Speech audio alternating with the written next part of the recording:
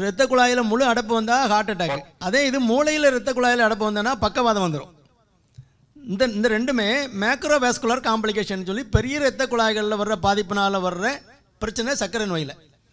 நான் முதல்ல ஆரம்பிக்கும்போது நீங்கள் முதல்ல இருந்தீங்களான்னு தெரில ஒரு சர்க்கரை நோய் டயக்னோஸ் பண்ண உடனேயே அது he is equivalent to a person who had one heart attack அவனுடைய இருதயம் எப்படி இருக்கும்னா இருதயத்தில் உள்ள ரத்த குழாய்கள்லாம் பழுதடைஞ்சு போய் தான் இருக்கும். சர்க்கரை நோய் கண்டுபிடிச்ச உடனேயே. அவனுக்கு ஏற்கனவே ஹார்ட்டில் பிரச்சனையே இல்லைன்னு வந்தாலுமே ஒரு இருதய நோய் வந்தவன் ஒரு ஹார்ட் அட்டாக் வந்தவனுடைய இரத்த குழாய் எப்படி இருக்கோ அப்படி தான் இருக்கும். அதனால் சர்க்கரை நோயாளிக்கு ஒரு ஹார்ட் அட்டாக் வந்தவனுக்கு என்னெல்லாம் ட்ரீட்மெண்ட் ப்ரிவென்டிவாக அடுத்த அட்டாக் வராமல் தடுக்கிறதுக்கு என்னெல்லாம் மாத்திரை உண்டோ அதெல்லாம் சேர்த்து கொடுக்கணும். டயபெட்டிஸ் வந்து இட்ஸ் நாட் சும்மா சுகர் மேலே இருக்குது கீழே இருக்குது அந்த பிரச்சனை கிடையாது. சுகர் மேலேயும் கீழேயும் போச்சுன்னா இரத்த குழாய் பழுதாகி போகும்.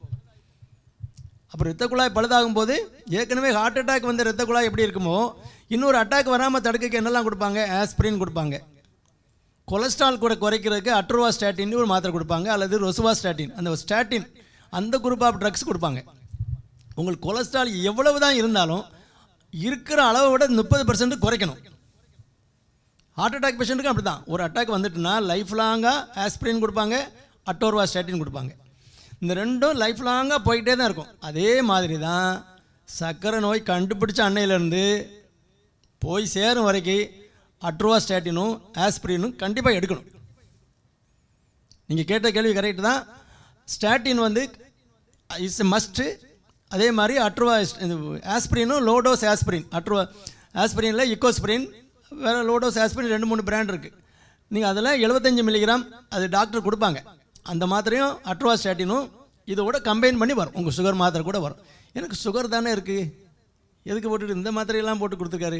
அந்த சுகர் குறைக்கிற மாத்திரை மட்டும் கொடுப்பா. அப்படி சொல்ல பே சில பேஷண்ட்ஸு வாங்குவாங்க. ஏன்னா இதுக்கு பத்து ரூபா வரும். மாதம் முந்நூறுரூவா ஆச்சே. சுகருக்கு இதுக்கு போட்டு இதெல்லாம் போட்டு எழுதியிருக்காரு. காரணத்தோடு தான் எழுதியிருக்காரு. உனக்கு ஒரு ஹார்ட் அட்டாக் வரக்கூடாது இல்லைனா பக்கவாதம் வந்து படுத்து கிடக்கூடாதுங்கிறனால தான் அதை ப்ரிவென்டிவாக தான் போட்டிருக்காங்க.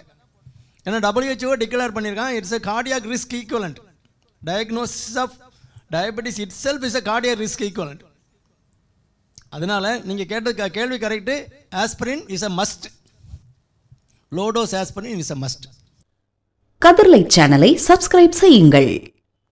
பெல் பட்டனை அழுத்தி ஆல் பட்டனை தேர்வு செய்யுங்கள். லைக் பண்ணுங்க கமெண்ட் பண்ணுங்க ஷேர் பண்ணுங்க.